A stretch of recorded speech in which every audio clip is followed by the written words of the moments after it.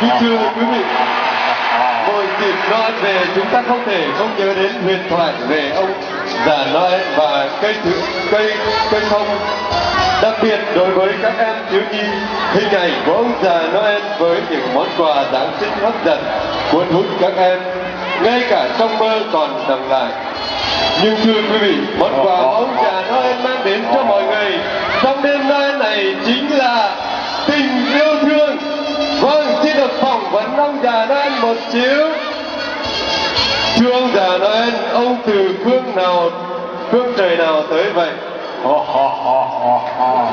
Ta đến từ phương trời những người nghèo khổ, những trẻ em cô đơn, những trẻ em lang thang đường phố, những người không nơi nương tựa, những người không có nhà nhân thân. Ho, ho, ho, ho, ho.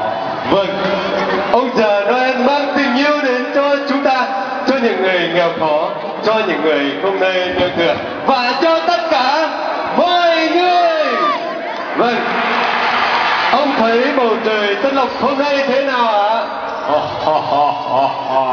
Ta thấy bầu trời Tân lộc hôm nay mỗi cây mỗi hoa mỗi nhà mỗi đèn mỗi nhà chúng ta có mỗi cái đèn để thắp sáng cho cái đêm dạ hồi hôm nay thêm tưng bừng và nồng nhiệt ho, ho, ho, ho, ho.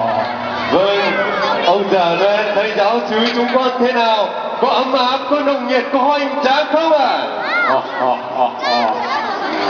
giáo sư chúng ta năm nay tổ chức mừng Đấng Emmanuel thật hoài tráng và nồng nhiệt và đầy tình con người ho ho ho ho ho Thưa ông già Noel, chúng con nghe các em học nói rằng ông đến đây mang nhiều quà lắm phải không ạ? Và món quà đó ông mang đến tặng cho giáo xứ Tân Lộc cho mọi người trong hôm nay là món quà gì ạ? ho quà ta bán cho các em nhỏ rất nhiều rồi nhưng món quà cuối cùng mà ta muốn tặng cho các em nhỏ ở giáo sư Tân Lộc hôm nay đó là món quà tình yêu Giáng sinh. Vậy các con hãy lấy những việc lành phúc đức lấy những công ơn mà đền đáp để góp thành những cổng lớn nước mang cỏ những hòn đá cho hang hang đá để xây lên cho mỗi người chúng ta. Mỗi hang đá bên lên trong lòng của mỗi người chúng ta.